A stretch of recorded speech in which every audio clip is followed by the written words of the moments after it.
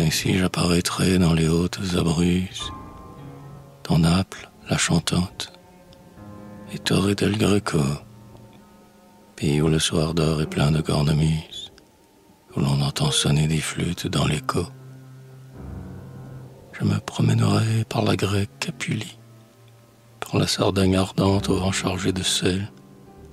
Je saurai la douceur et la mélancolie des lacs lombards sont comme un flux de ciel. Et partout, acclamant le pèlerin lyrique, m'entoureront, restés à mon âme tous chers, les fils, les héritiers de l'ozonie antique, grave et pure Sibylle, assise entre deux mers,